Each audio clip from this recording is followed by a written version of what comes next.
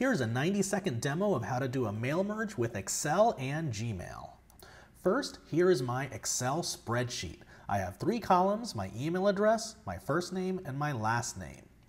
The first step, and you might not like this, is to convert your Excel spreadsheet into a Google Sheet.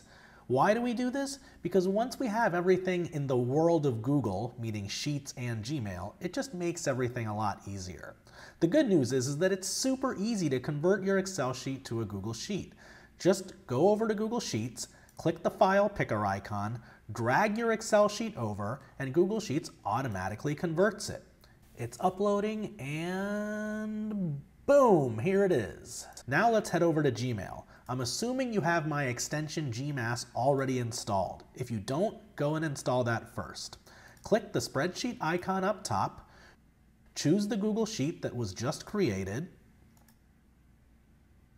wait for the Compose window to launch, and now type your message. I'll personalize it here with the first name, all I have to do is type a left curly bracket for my mail merge variables to show up. And now I'm going to hit the GMass button. And that's it. My emails will be sent momentarily. There we go. We have notification that the emails have been sent. Now we'll go over to the sent folder and confirm. 100 personalized emails have been sent.